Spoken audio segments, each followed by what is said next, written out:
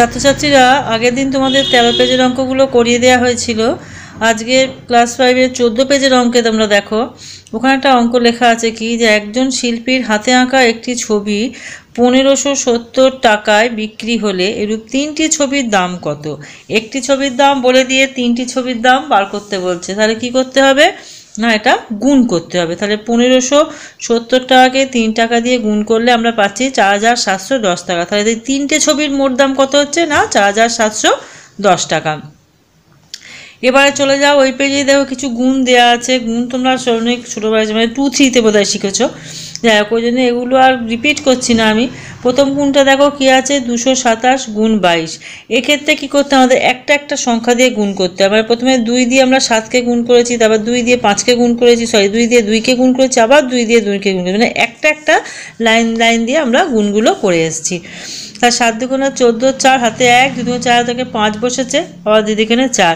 এইবার কি হয়, গুণের নিয়মের ক্ষেত্রে একদম ডান দিক থেকে একটা করে ঘর বাদ দিয়ে দিয়ে সংখ্যাগুলো বসাতে হয় দ্বিতীয় লাইনের ক্ষেত্রে। এইভাবে দুটো গুণ তোমাদের করে দেওয়া হলো। বাকি রইল তোমাদের এক, দুই, তিন, চার, পাঁচ, ছয় ছটা গুণটা তোমরা নিজেরা এইচটি করবে। আমি ইচ্ছে করেই করে দিলাম না, কারণ যেহেতু এগুলো অনেক ছোটোবেলা থেকে তোমরা করে আসছো। এবার পরের পেজে চলে যাচ্ছি আমরা। ষোলো, সতেরো পেজে দেখো, আছে কি ভাগ? আচ্ছা ভাগের ক্ষেত্রে আমাদের কি? ভাগের চারটে জিনিস থাকে, চারটে অংশ থাকে, একটা হচ্ছে ভাজ্য, একটা হচ্ছে ভাজক, একটা হচ্ছে ভাগফল, একটা হচ্ছে ভাগ শেষ ভাজ্য কী হবে ভাজ্য সমান সমান হচ্ছে ভাজক গুণ ভাগফল যোগ ভাগশেষ। তাহলে ভাজ্য বার করতে গিয়ে আমরা কী করব? ভাজককে ভাগফল দিয়ে গুণ করতে হয়, তার সঙ্গে ভাগশেষ যোগ হয়। হলে যেটা বেরোয় সেটা হচ্ছে কি? ভাজ্য। এখানে একটা অঙ্ক দেওয়া আছে, দেখো। বিনামূল্যে এক হাজার দুশো পঁচাশিটা বই স্কুলে সব ছাত্রছাত্রীদের মধ্যে সমান ভাগে ভাগ করে দেওয়া হলো। প্রত্যেকে পাঁচটি করে বই পেলে। তাহলে ছাত্রছাত্রীদের সংখ্যা কত? কি করতে হবে? মোট বইয়ের সংখ্যা বলেছে কি না? বিনামূল্যে কতগুলো বই না? এক হাজার দুশো পঁচাশিটা বই।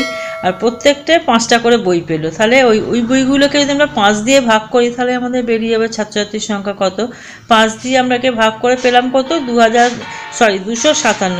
এইভাবে প্রত্যেকটা ভাগ তোমরা করবে এবং কিছু ভাগ এইচটি দেওয়া হলো, সেগুলো নিজেরা করে আনবে।